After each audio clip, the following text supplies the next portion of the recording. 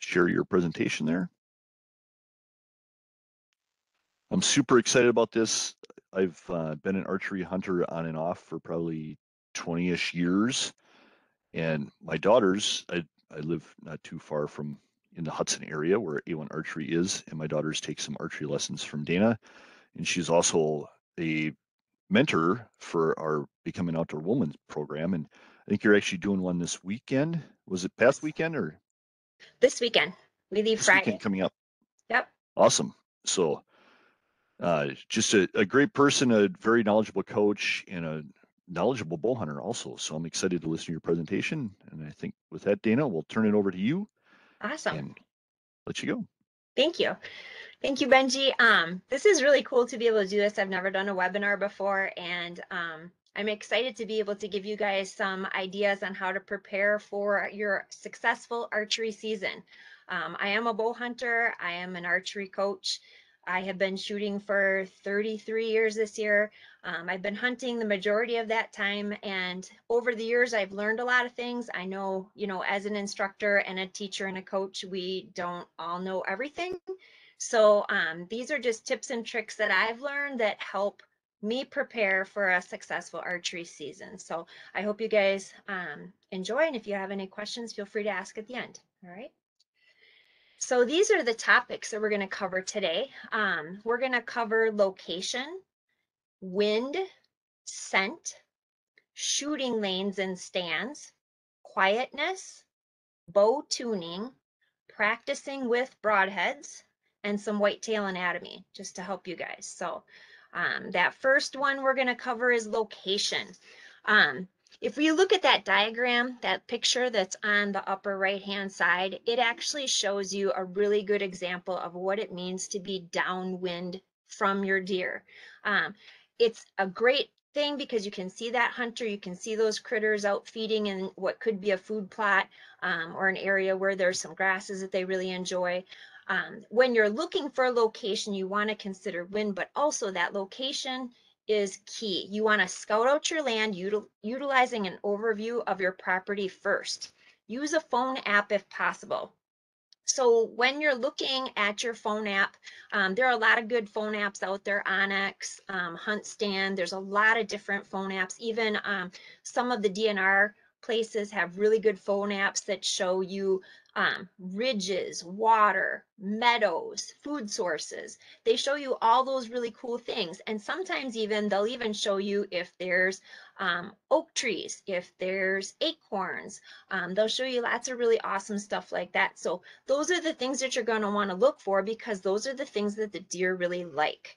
So if you're looking for um, a good stand, you're going to want to look for some ridge lines. If you're looking for a, um, a ground blind, you might want to be near a meadow where there's um, some food there. You want to be sure that there's water in that area so that there's something that those deer are going to. And then actually get your feet on the ground. Um, hop out, get out in the woods, check out that area, see what you see um, for deer sign because you want to know where are your deer going um, and where are they. So look for that sign. So look for tracks, look for trails, look for feeding and bedding areas and rubs and scrapes. Now, if you're not familiar, if you're brand new to hunting and you're not familiar what a rub is, um, it's actually a tree that has been um, rubbed by the, the buck's antlers. Um, that's what a rub is. If you're looking for a scrape, those are usually it's a it's a big round area where the deer actually have been scraping with their feet. Then they urinate over their tarsal glands. And usually if there's a scrape there it's kind of a way to mark their territory. Um, usually if there's a scrape right there there's a licking branch over the top so there's a branch where they actually lick and they rub their eyes and they rub their horns and they rub their face on that branch. So those are really good things to look for as you're getting those feet on the ground and checking out that hunting area. You know, figure out where those spots are, where that good area where you can totally get a shot of deer is. And then another question you might want to ask is what time do your deer come through this area? A lot of people will use cameras. Um, they'll put out game tracking cameras just to see are the deer coming here in the mornings or are they coming there in the evenings? If you utilize that um, that point, what happens is you can actually say, well, geez, I, I have so much availability in the evening, but if these deer are only coming through here in the mornings, it's kind of ridiculous for me to sit here in an evening sit. So it might sway you and shift you to another spot where there's more opportunity for you to shoot. And then a big thing you want to look at is which direction does the wind prevail? And can you get into this spot undetected? So again, if we look at that downwind picture, you want to be able to get into that area without having those deer smell you. Because um, if they smell you, they're going to be gone. All right. So talking about wind, there's a really good saying. If the wind is in your face, you're in the right place. Wind from behind, the animals will smell you every time. And that is so true. Um, they will smell you if the wind is blowing at them. No different than if you were in the mountains. Um, I've hunted elk before where you have to think about the thermals, how they move up and down those canyons. But you always want to know which way the wind is going when heading into your stand. Um, the phone apps, again, show you lots of times um, the wind direction or even if you don't have the phone app, lots of times on your phone in general, the um, weather app will tell you which way that wind is going. That's also another key to help you um, be able to get a good a good wind to get into that spot. Um, your entrance and exit ways to your stand are blind are so important when you're thinking about wind. Um, and then when placing your stand or blind, know which way the predominant wind goes in that area you want to pay attention you know is this is this a good stand for a north wind? Is this a good stand for a south wind? Um am i hunting down in a bowl? If you're hunting in a bowl that wind's going to be swirling around in there. So you want to be sure that you're paying attention to that predominant wind as well. And then consider having multiple stands on one property to allow for different winds. So like I said, you might have this stand is good for north winds, this stand is good for south winds. Um, I can actually get into this one better um, during a south wind. You, you can figure out how can I work this where it works better for me. And so the animals don't know that I'm there. So always consider that wind. And I will tell you, honestly, when I first started hunting, I didn't know anything about wind. I didn't know anything about wind. Um, I have learned so much over the years about wind. And when you get with hunters that really, really pay attention to the wind, you'll see how important it is. Um, always, always, always pay attention to that wind. Um, when you're talking about shooting lanes and stands, um, this is a great picture. I mean, if you look at this picture, the guy is very camouflaged up there. Um, it's a great big tree. you're going to have a hard time seeing him because he looks like he's part of the tree. So you want to consider silhouetting. Which direction does the sun set? Will it be behind you or will it be in your eyes? That's one thing to think of. Like if you're standing there and the sun's beating you in the face and it's hard for you to see because it's beating you in the face, are you going to actually be able to get that shot? Or is it going to be behind you? And is your whole body going to be silhouetted? Um, is there a tree nearby for cover? So are you hunting in like this big oak tree that he's in? That's an oak tree. Are you hunting in that tree that's actually like the same size as you or are you hunting in a tiny tree? You want to be in a bigger tree. And look up from the deer's perspective. So get down in that meadow or wherever you are outside of that stand and look up and actually like imagine if I was a deer, would I see myself up there? Um, think about that part too, because sometimes you'll be like, wow, I would stick out like a sore thumb if I was there. That's not a good spot for me to be. Um, wider trunk trees might hide you. So just like this one, like I said, it's nice and big. That fella doesn't look like he's a tiny guy. Um, that's a nice, nice, big, sturdy tree, but he looks like he's part of it, which is really, really awesome. And big, healthy trees are always the best. They're obviously harder to use with climbers because they're so wide, but they're great for ladders or lock-ons. Um, I, I love a good ladder stand. Um, you can feel very safe in a ladder stand. Um, double ladder stand is like you're in the Taj Mahal because you have room for all of your stuff big trees are awesome. when you're hunting, be sure that once you get up into that spot and you're looking down at your area that you're going to be using as your shooting lanes, do not over prune. Do not over prune. You want to leave things that don't hinder your shots. So you want to be able to have an area where you can draw back that bow and have that deer maybe not see you and then have them walk into that opening where you have because if you prune everything away then sure enough, you might draw back and they might see you move. So if possible, try to leave other things in the way so that it gives you those opportunities to draw back or even say the shot doesn't present itself and you have to let down. If you have a little bit more stuff in the way, you can wait for him to get to that spot before you let down. Um, don't over prune. Okay. If possible, set up your stands or blinds long before your hunting season so that animals get used to them. Um, I know it's not easy if you're hunting on public land because you don't want to leave your stuff out there. It's really hard to do that. But if you're hunting on private property, go ahead and set that stuff up way early. Let those critters get used to it. Um, it's actually a really good way too if you have your blind out there and say you don't have it staked down just right and then a windy day comes along right prior to there and you notice, hey, oh my gosh, this this is moving on me. Go ahead and make sure you have that button down, tied down, strapped down good enough that it's going to be a great spot for you to hunt that year. So uh, the longer you can leave them up, the better. Be safe and use a five point safety harness and a safety line on your tree stand. Now, we sell those safety lines, and I've hunted um, at different places that have had the safety lines. They are amazing and they will save you if you're going to fall. So, use that safety harness, use that safety line. They're super easy. All you do is you hook your strap onto there you slide it up as you go up that tree. And if you do slip or if you do fall, it'll catch you. And that's what we want. We want to save people from getting injured. So if you can wear that safety harness and your um, your safety belt and use that lifeline, it's wonderful. Now, I've seen some people that they want to get a really big safety harness because they want it to be able to go over but if you think of it like over your clothes, if you think about it, sometimes you can even layer that under some of your bigger layers. You just have to be able to pull it out. So some hunting clothes actually have the hole for your safety harness strap to come out the back.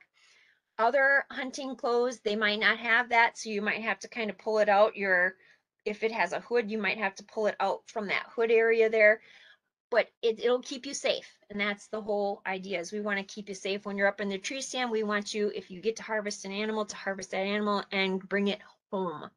So be safe. Check your stand, your seat, your pull-up ropes, etc. for damage from animals during the off season. Now, I've had to deal with some squirrels that have chewed things. Um, or like mice. One time I got up in my tree stand and I went to pull my seat open and there was a mouse house in there. There's there's a whole bunch of critters that could be in there. So you always want to make sure that you're just checking your stand, checking your ropes, and especially if you have a stand that's on private property and you're leaving it there for a long time, be sure that you check the tension on that. Be sure that you know nothing's getting frayed or that you know something isn't getting like a dry rot and coming apart or maybe that the tree's not just growing around it because as the trees grow if you have straps or ropes on there sometimes um, you know that tree will grow right around it. We want to make sure that everything's safe. So be sure you check your stand and your ropes and make sure there's no damage. I have actually um, known people that were trying to pull their bow up into the stand and didn't realize that the rope um, was partially chewed. So I always keep my rope that I pull my bow up in in my backpack, in my hunting pack on me, so that when I climb up into that tree stand, I've got it hooked right to me and I know that rope is good. Uh, I don't really want to drop my expensive bow out of a tree. I, we've seen it happen here at the shop numerous times. And if you can save yourself from that and be able to actually have a nice sit that night, that's what we want. So um, that's what that's what we're going to try and do. Now, we're going to talk about scent. I was kind of funny and I put some cookies up there. Um, lots of people like chocolate chip cookies. But the funny thing about scent is say that you walk into someone's house and say that they have a litter box, they have a cat. If they're cooking cookies, if they're baking cookies, or if they're um, cooking something amazing, let's say a pot roast or something like that, your senses are going to be filled with that awesome smell. So if it smells like cookies, you're not going to smell that kitty litter box. You're going to be smelling the cookies. So when we think about scent, think about it that way. Think about, you know, are you are deer going to be smelling you or are they not? So hunting totes. Oh my gosh, I have so many hunting totes. They are great for your clothes and boots to be put on at the truck. At the truck. um, I only wear my base layers in my vehicle with a pair of tennis shoes going to my hunting spot. Then I get out of my truck and I pull out my tote and I have my boots, I have my hunting clothes, I have my backpack. It's all in totes. I pull all my clothes out, put all my my other layers on, put my boots on, and then I leave. Um, my boots do never ever touch the gas pedals on my truck gas pedals when you if you were to touch your hunting boots on the gas pedals your boots are going to smell like gas. They're going to smell like the grocery store. They're going to smell like anything else that your feet have touched with your tennis shoes or whatever shoes that you had on before that. So i'm a real big stickler about my hunting boots um, and my clothes. I don't wear my clothes anywhere but in the woods. I keep them in the tote. They're kept washed um, and it's a totally separate thing. I don't want to smell like anything. So use your unscented soaps, shampoos, deodorants, and body washes. Um, when you think about using unscented soaps and shampoos, there there are body wash type soaps. You can get the combination that includes the shampoo and conditioner. You can get some hunting um, shampoos that come separate from this separate conditioner. Um, you always want to remember that everything should smell like nothing, unless there is one product that um, people really like, and that's called Nose Jammers. Nose Jammers actually smells like vanilla. And for a lot of us girls, we don't want to smell like dirt or nothing. And so vanilla actually is kind of like cookies. So when the deer smell that vanilla, it fills their olfactory and they are like, wow, all I smell is that. I do know some of the guys that have actually used the field spray on the bottoms of their boots and walked out to their hunting stand and they see the deer follow their footprints all the way to the stand, literally to the rungs of the stand. So they're curious. They they like that smell. They don't know what that smell is. Um, but again, that's a product that just uses vanilla. Otherwise, everything should be scent free, no scents. And when you talk about those shampoos and body washes and stuff, when you get out of the shower, what does your towel smell like? If you use a towel that has been washed in Tide, your towel is going to smell like Tide. So now you took the time to have your totally unscented body and you're rubbing Tide towel on there. So when I'm hunting and I'm uh, when I'm like really getting out there or bear hunting or whatever I might be doing, all, including my towels and everything, are all washed scent free. All washed scent free. I don't have, I don't use the same stuff the rest of my family does. Um, do not use colognes or perfumes. We, I work at an archery shop here and we at A1 Archery, when it gets to be hunting season, nobody smells like anything. Nobody. Are you, they walk through the doors, they don't smell like anything. But if someone that's not a hunter comes in and they smell like cologne or perfume, woo, we're all like, whoa, is that a wall?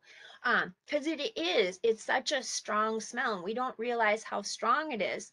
But you definitely don't when you are it's hunting season you're serious about hunting you don't want to be using colognes or perfumes stay away from those and then as women go like does your makeup have a smell to it I've known like a lot of times where I bought a moisturizer or something, and if you open that up, if you've never used before, and it smells like perfume, you're, are you gonna rub perfume on your face? I hope not. Um, so smell your makeup if you're a lady. Um, you know, think about what am I putting on my face? What am I putting on my body? And then what does your house smell like? It's a funny question, but does your if your house constantly smells like Febreze or candles, and if you walk through your house with your hunting clothes on, are you going to smell scent free or are you going to smell like Febreze or candles? Okay. I always think Febreze just because that's a really strong smell to me. And then with your hunting clothes, like I said, wash all your clothes in scent free detergent and dry them outside. Um, that fresh air, it just makes them even more so scent free. It makes them smell like outside. And then once they're dried, then you can pack them up and put them away. And actually, I'm a stickler. I always wash and dry my clothes out on the line, and then I spray them with tick spray while they're still um, out there dry, and then I let them dry even longer with the tick spray. Then I bring them in. I, I don't like ticks, and I like to keep myself safe from ticks. So with your hunting clothes, if you spray them off right then, then you're not worried about having to do it again later and you don't want to spray tick spray on your person. Like if your clothes are on you, don't spray tick spray. That's not good for you. So um, wicking base layers with your hunting clothes keep bacteria from creating odor. And merino wool is my absolute favorite. I learned about this um, quite a few years ago when I was going on an elk hunt. Um, merino wool, it is wool, so it will shrink um, as you wash it. You just got to wash it in cold and um, but it is so it's antibacterial and it's a warm base layer, but you can wear it even when it's warm out and it wicks away the sweat. So um, merino wool is my absolute favorite when it comes to my hunting base layers for clothes. And then wear less clothing to the stand so you don't sweat. So you don't want to put eight tons of clothes on and then make your way to your stand and be all sweaty and icky by the time you get there. So what I do is I actually throw my extra hunting clothes, my over layers into my backpack and I'll walk out to the stand um, in the lighter layers. And then when I get up in there and I get all situated and get my bow hung up, then I throw on my, my bigger clothes, my the overclothes. So like my coat or my um, hoodie or whatever it is, I put that on once I'm up in there and have more clothing layers in your pack. So one really good tip that I learned, um, down is wonderful. It is super warm.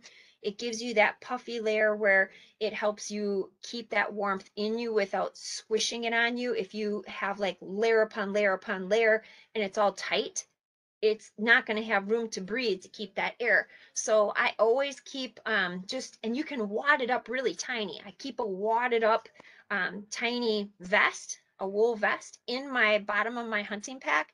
And that is a great way. If you get chilly up there, you can actually pull that out, put that on, throw your your overlayers over the top again, and you'll be way warmer.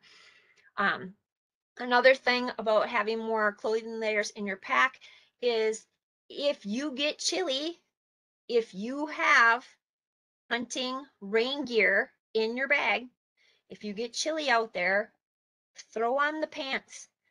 Throw on those hunting pants. Um, if they're camouflage, throw them on right over the top of the clothes you're wearing. It'll cut the wind. It'll keep you warming. It'll keep you, or warm, it'll keep you in the stand longer. It'll keep you hunting, is what it'll do. So even if you're in the blind and you get chilly, throw that raincoat on. Um, and when it comes to hunting, raincoats and rain gear, they do try to make them really quiet, especially the new ones, um, because they know that people are walking and they um, don't want noise. So I love my hunting rain gear. I use it all the time. It's in there pretty much no matter what the weather is. It's in there just to keep me warm.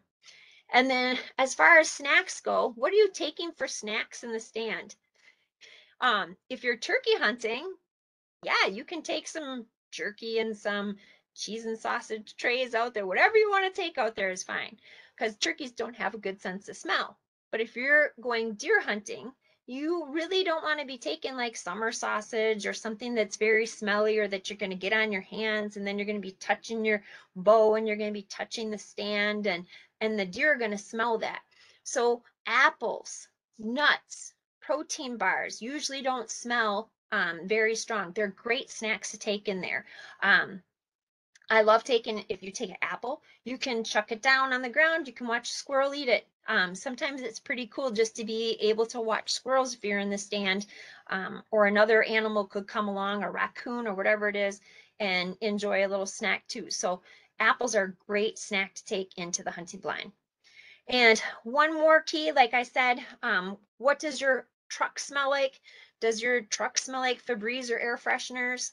Um, your hunting boots on the pedals will smell like gasoline.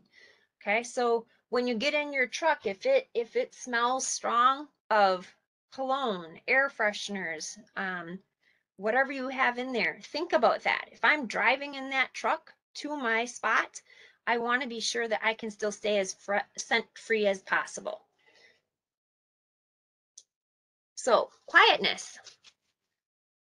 When we are walking in and out of the stands, we want to try walking from your heel to your toe and avoid stepping on sticks and branches. Pick up your feet and pay attention to where you step.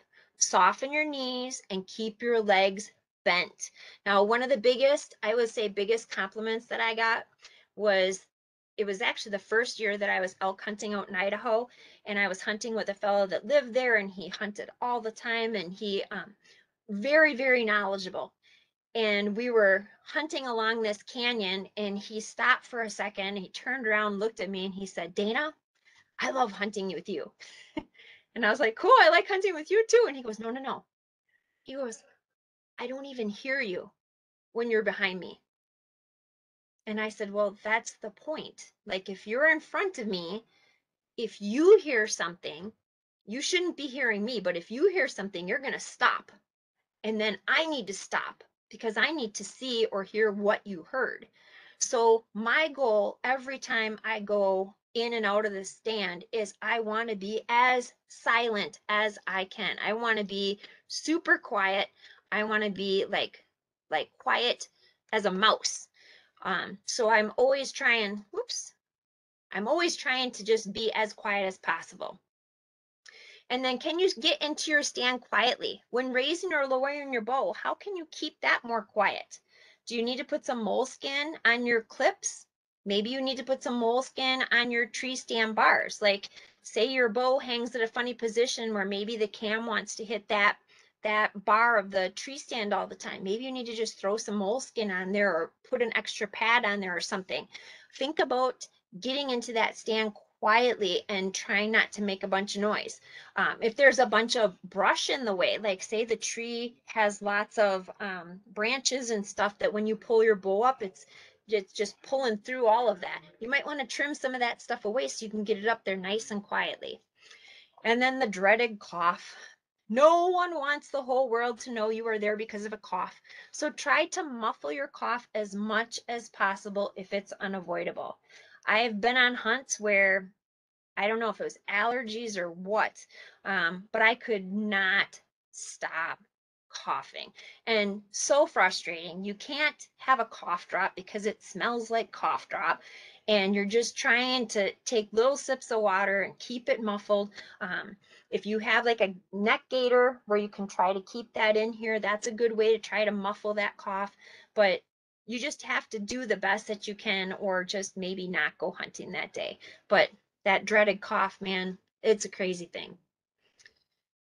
So now we're going to talk about bow tuning. And this one's a big one for me because I work at an archery shop. Oh, I'm flipping around in there. I work in an archery shop and bow tuning is super important. You need to make sure and verify that your bow is timed and tuned often, especially if you start noticing differences in your shooting or you are going on a hunting trip. Your strings and cables on your bow should be changed every two years. Three years is going a long time. Okay. You have to remember the bow is no different than a guitar. Guitars go out of tune just sitting in their case, just like bows do. Um, so just because your bow has been sitting in a case and you haven't been shooting it doesn't mean that it's still timed and tuned. You need to have that checked because an arrow that doesn't have good flight will definitely change where it hits the target. So really bring it into a bow shop, have that bow timed and tuned, especially before you go on a hunt. Just make sure you get her checked out because if it did change, they can actually tune that bow and get it back into spec where it needs to be. And, you know, I've seen people that wait a long, long time to change their bow strings and cables. You want to do both of them at the same time. Don't just change the strings and not the cables because it's like changing your oil in your truck without changing the oil filter. Got to change those strings and cables. Um, I saw one time where a guy he he was like no no i don't need any i don't need it tuned i don't need anything and the thing was so out of whack the arrow was terrible and i was like you have to take this bow up front. You have to have them work on this bow because the arrow flight was horrible. Um, so always remember to do that bow tuning. Go to a reputable shop and have that bow looked at and especially before a deer hunt or a turkey hunt or any kind of hunt, you know, make sure you got it checked out. All right, so now we're going to broadheads. So with our broadheads, um, all broadheads need to be sighted in before going out hunting, before going out hunting. They will fly differently from your field points. Okay, now I'm going to explain. Fixed blades fly differently from mechanical. Mechanical heads should only be used by higher poundage shooters. Okay. This is what I'm saying. I shoot 50 pounds out of my bow. In my opinion, I would not shoot a mechanical broadhead. My opinion. That's just, I don't feel like I want to risk getting an ethical shot on a critter if my blade doesn't open up. Okay. So I, since I shoot 50 pounds, I love a fixed blade broadhead. Now, if you go different places in different states, they have different requirements and different rules too. So you could go to Idaho elk hunting. Idaho only, they require you shoot a fixed blade broadhead. You cannot shoot a mechanical broadhead. Okay, so you have to have that sighted in. Now, one time I did actually go on a turkey hunt and I was super excited. I had this woman that I was working with, and we got out there in the blind, and I had the decoy set, and and she's getting her stuff ready, and she goes, "And here's my broadheads," and they were still in the package. They're still in the package, and I was like, "Oh no! Tell me you shot at least one of these. Tell me you shot at least one of these, so that we know how this is gonna fly." And she's like, "Oh no! I was just gonna put them on right now." So I hate to say it, but I prayed to God that a turkey did not come out in front of us because we don't know. I mean, for me personally, my broadheads usually drop four to six inches from where my field points hit. Four to six inches. That is huge, especially, I mean, it's huge on a turkey, but it's huge on a deer too. So make sure that you get those broadheads sighted in before you head out hunting. Make sure they're flying. Even a mechanical head, they have they have practice heads in there um, or just designate. Use one broadhead for your practice head. This head should never be used for hunting, only practice. Again, personal opinion. If I shoot at a critter and if I use that broadhead, to me, it is not ethical to reuse that broadhead. I won't. Um, they do make some broadheads that can be resharpened. I don't spend the time resharpening. I want that to be surgically sharp. I buy new ones. Um, but the nice part is, is if you use, so usually broadheads come in like a three pack. So what I do is I actually, I take that one out that's going to be designated as my practice head. I sight in just with that one arrow, boom, check, pull it out, boom, check, pull it out.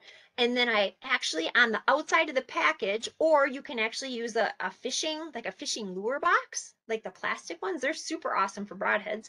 You can draw with a black Sharpie on the top of that or on the top of that packaging, put a P on there. That means it's your practice head. That is your designated head. Then you're not using all the other broadheads. Um, you, you don't have to use two, three, six of them. Use one. Use one. Designate that one as your practice head and use that one for practice, but not for hunting. Okay. Um, always try to get that beautiful shot and I would always want to just trust that I have the sharpest head on there as possible. So that's what that's what I would do. Oh. Oh, I moved too far. Alrighty, so whitetail anatomy. This is our last little piece here that we're going to talk about, and it and we're going to talk about this just because it it's really cool.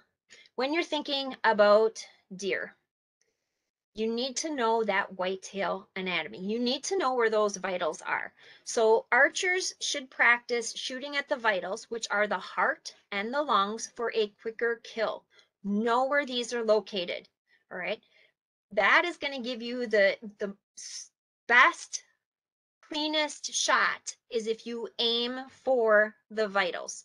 So know how to judge your yardage and put markers out if you if needed to help you because then you'll have not only your distance but now you know where the vitals are and you can aim right at those. And if you look at these awesome diagrams, you can see you can see what a broadside shot looks like because that's where the vital is on the broadside. It's behind that elbow and it's up kind of not quite midsection of the body, but it's behind that elbow back a little bit and and almost almost in that bottom part of that body right there. If you look at the quartering away shot, you can take a broadside or a quartering away shot, and this is really nice too because you can slip it right in there past that rib cage for a good shot that gives that nice angle. But you don't want to take a facing shot on a deer. On an elk, that's fine because an elk has a big area in the front that you can actually kill them. On a deer, they don't have that.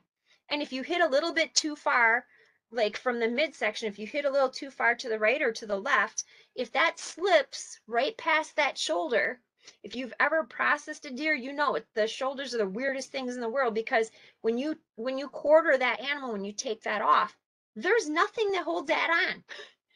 There's no ball joint in the shoulder. It just it comes off whoop, one big piece. So if you are aiming at that deer and it's facing at you, chances of you getting it are not good at all because if it slips past there, well, it might create a wound, but it might not get anything. So always go and strive to go um, have those beautiful broadside or quartering away shots. Take your time, wait for it to happen.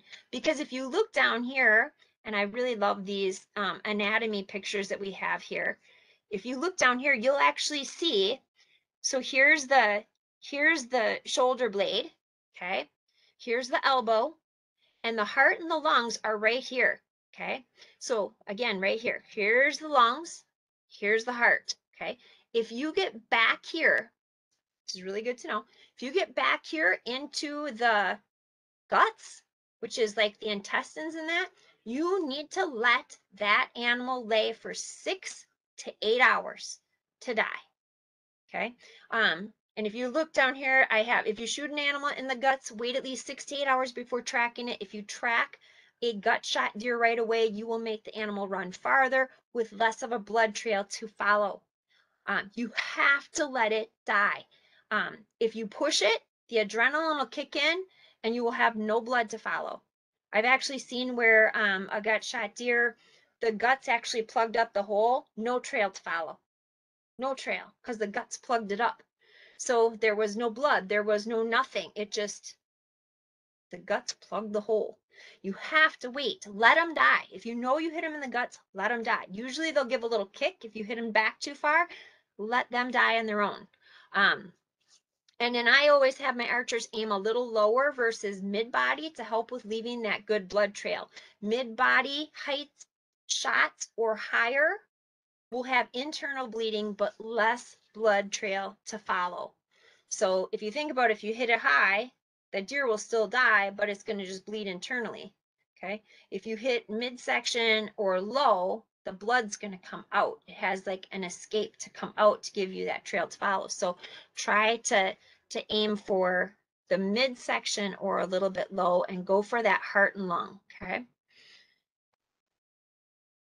And then our last one here, um, I hope that you guys enjoy this. I hope you maybe learned some stuff. I hope everyone um, has good luck out there this year. If you guys have any questions, I know Benji's on here, but I also put a little blurb about what we offer here at A1 Archery. We have beginner classes, intermediate classes, homeschool leagues, women's leagues, which are super popular. Um, we have winter indoor spot leagues and 3D leagues, and then I do give small um, group and private lessons here at the shop as well. But yeah, that's my talk for today. Awesome job. Thank you. Thank you, Always learn a little bit more every time I listen to you. So Nice.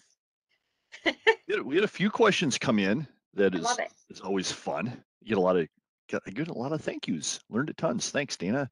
Oh, good. Thank you, uh, Nathan and just Kay, the other one. So, um, and one in the in the chat again. If you want to ask a question, please put it in the Q and A. It helps us get to it a little easier. But uh, Amber sent me one from the chat. When you're talking about, you know, scent is a big diff, a big deal, especially in archery hunting compared to, you know, rifle season or something up north. And you talked about putting everything in like a tote, a plastic bin. Uh, Yes. what about the plastic smell in there? Do you treat your stuff or worry about that at all?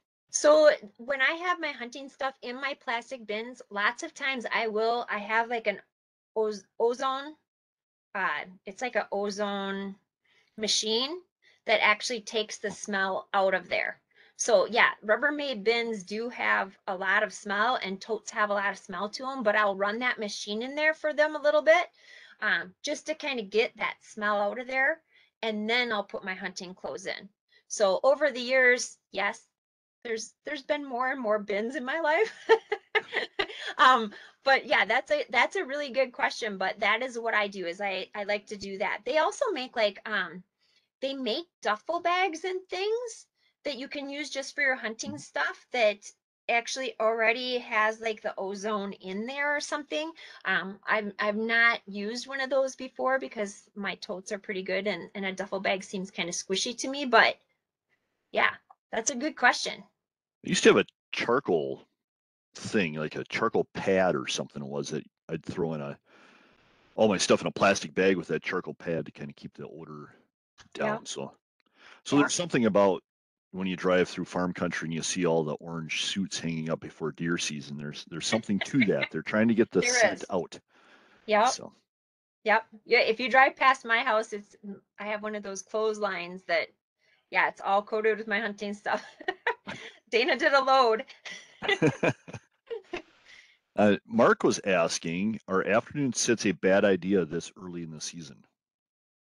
I would say no. Um, for me, for me personally, any chance that I get to be out there, if I know the deer are going to be there, I'm going to be there. The only thing that might keep me out of the woods is the 90 some degree days. Yesterday. If it's 90, yes, yesterday was so humid and it was so hot. And if it's 90 some degrees, now granted, you can be a really, really good shot. Um, but since this is hunting, if something were to happen and you take that good shot and bait and like by chance say you have to leave it overnight, I don't I don't want to risk the the meat going to waste. So afternoon hunt and you know because I work, I I would do afternoon hunts just because I'm available to do them then. But I I worry more about the weather, the the heat. Yeah, early early archery season gets to be, and I, I know a lot of guys will keep a lot of ice around and they'll fill that cavity up in the deer with ice to to try Yeah. to keep it and age it a little bit too. So Yeah. Uh, Christopher has a couple questions in here. First ever season deer hunting, and he's borrowing a crossbow. Okay. So we didn't talk about crossbows a whole lot, but he has a couple questions. What point should I draw the bow, and how long can I leave it drawn? Okay, so with a crossbow, you want to have that drawn um, when you get up in that stand, then draw that back. Um, or I don't know if he's hunting out of a blind or hunting out of a tree stand.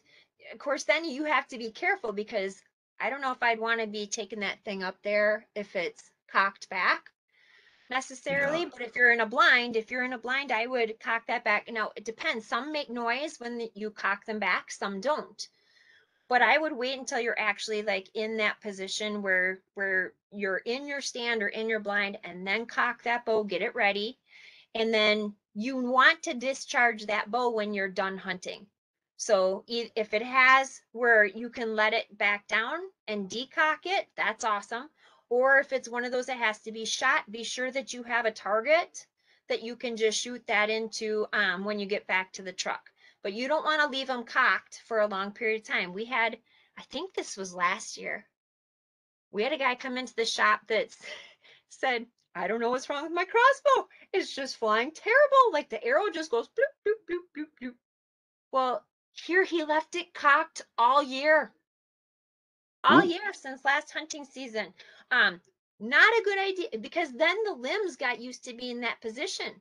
So literally you want to be able to decock that bow or you want to be able to shoot that arrow into something when you get back in your vehicle. Plus I think it's it's against the law to drive with that cocked. If I'm It could be. correct. I believe it is. I believe it's like illegal to drive with a, cos- a crossbow cocked in your vehicle.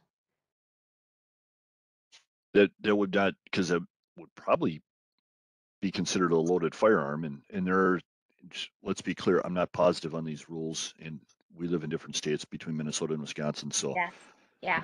you might not have to have a case, a bow in a case, but a crossbow is a little bit different. So if it is cocked, I would consider that myself. I'd consider that potentially to be a loaded weapon, which would be against the law. So Yes. we might Even have a seal have an officer out there. Yeah. I'd- I'd be afraid, more afraid that if it was in the back of my truck or something, if it was cocked, that maybe something else would trigger it, you know, and then it would dry fire. So, yeah, you don't want to destroy it. So yeah, his other- no. one of his other questions was, should I get strings replaced and crossbow tuned just like every other bow? Yes. Yep. So, and- Yep. and Christopher, I would highly recommend either going and visiting A- Dana at A1 Archery or a local archery shop. I'm not for sure where you're located, but and fire that bow a few times and see how it flies and let them, you know, just just give it a once over. It's never a never a bad thing. And if there is something, you know, if you get a wobbly arrow out of there, that they're the ones that can uh, tune that and fix it. So Well, and crossbows, you know, they're not a gun. A lot of people want to treat them kind of like a gun. They're not a gun. Um, so you're not supposed to shoot them over and over. You're supposed to sight them in and then you're supposed to hunt with them. Um, so people forget how they work. It's super common. People they just forget how how to work it. So if you're not sure on how to work that crossbow, um, our guys here, our, our technicians are amazing. Um, but make sure you get some help just to figure out how that works ahead of time too, just so you don't get in the stand and I forgot how to do this, you know? great. Um, a few more thank yous in there. Our own Linda Bylander, our bow coordinator, said great job. I Uh, love her. Carl, Carl was asking, what is an estimated cost for having a bow restrung and tuned? So it depends. It really depends. It depends um what your bow needs. It depends on how much out of whack it is because I want to say I think the Mathews strings don't quote me on this. I think the Mathews strings are probably running I might go a little higher, like 170 maybe for strings and cables. But depending if they have to say they have to lube something, say they have to adjust something, say that you know something's not quite right, they can figure that out. Our our technicians here are amazing. Um, I have a great great team out here. Um, price wise, I don't honestly I don't deal with the technical side of that. I don't work on bows and unless it's like a kid's bow. So I don't do the sales. They do the sales up front. So honestly, I I would call the shop or call a shop in your area to get a, a good accurate quote. And like you said, I had, um, I just took my PSE in to get looked at for restringing it. And I think they, s- um, John up there said 150 to 200 dollars. So, but I think, I suppose it figures between different bow manufacturers and all that stuff too, and whatever. Yeah. So, Or if you want something funky like some custom strings or something like that, or a special kind of string and cable, yeah. hot pink and purple are famous in my house, but Yeah, you Mar- do have that, don't you? uh, Mark was wondering, do you have a rule of thumb for following less than ideal hits in warm weather? Well, like I said, if you hit them back, or if you're not quite sure, let them lay. Let them lay. Um, so if you if you know and if you follow through and if you see that that arrow like went a little bit far back, wait at least six hours. Um, I had this actually happen to me a couple years ago in Missouri. I hit a doe. I was really high up, and I I tried to miss her backbone because I was really high up, and she was right underneath of me. And when I hit her, it kind of came through and then popped out the other side. But she kicked, and then she trotted like four steps, and then she walked. And I was like, "Well, I know she's dead. I mean, she's dead. I just have to wait for her to die." And so I just watched her with my binoculars for like an hour. I sat up there. I did not get down. I did not look for my arrow. I did not, I just watched where she went. So when you have that shot, pay attention, listen. You know, where did the deer go? If I can't see it anymore, do I hear it? Did it fall down? Um, and then like make mental markers. So I saw where she laid. She laid there for about 20 minutes, about 60 yards away. Then she got up. She went another 20 yards um, into this CRP some um, set aside land. And when she went in there, there was like a little tree that I used as a marker. It looked like a Truffula tree out of like Dr. Seuss. And that's how I kept an idea of where she went in. But I snuck down. That hour had been passed. I snuck down. I went way around that food plot, got out to my truck, went back to camp. We let her lay for six hours. Six hours. And then we came back and she was still alive. She was like on her last dying breath, but she was still alive. And I did, I, I did the ethical thing. I shot her a second time. And um, the funny thing is, is that the the guy who was there tracking with me, he's like, "Well, I know she's here," and I'm like, "Well, yeah, I know she's here somewhere too." And he goes, "No, look up," and he looked up, and I looked up, and there was an eagle there. The eagle was waiting. He was waiting for his meal. And so I would have Yep. never thought to look up, but I've heard of people looking like for crows. They'll look for crows, they'll look, and I'm I would have never thought to look up. But you know, you learn really cool things when you're around people that that do this all the time. So It's true. Yeah, You gotta watch old spaghetti westerns. You always look for the vultures. that's right. so funny. Uh, Mark was asking about any advice on calls and scents throughout the four month archery season. Oh, you can utilize a lot of really cool stuff. Um, I I've used deer urine before, um, doe urine, doe and heat. I've loved that. Um, I've actually put that on a wick and then dragged it with a length of string behind me out to my stand and then tied it. Um, some states have rules as far as if you can leave that out there or not. Um, I've done where I've just, you know, put a little squirt of urine around um, in the area where I wanted to shoot. I've used um, rattling horns. Um, the cool thing about rattling horns is if you're in a blind, like make that noise with your feet too. Like because they hear they hear the rattle, but they're expecting. If you've ever seen two bucks sparring, there's a lot of noise. There's cracking of tree limbs. There's like the the you know, it almost sounds like just pounding of them and the leaves and the ground. So you can make a lot of noise too. Um, but I I love I love using scents. I love using um, using those rattling horns every once in a while, like the the rub, the stick ones. Those are fun to work with. Or if you even have the horns, they just get more in my way if I actually have a set of horns. And you know, older horns smell di- or smell. Older horns sound different than what new horns do. So if you if you use a lot a couple different kinds of rattling horns, you'll notice there's a definite difference in the sound of them. So you want to pay attention to that too. But grunts too. If it's if the bucks are in in rut and they're grunting and you want to use those horns and throw some grunts in there, have some urine out. hmm Super fun. I've even a used decoys. Decoys are super fun too. I've never tried a decoy. That'd be fun. It's Sometimes so making fun. those little sounds like a little bleat or a, a grunt Yeah. will get a buck to stop in your shooting lane too, which is helpful Yeah. if they're on a mission for something else. Yeah. Uh, Lucas was asking, do you believe that high pressure days and cold weather makes big mature bucks get on their feet and move early in the season?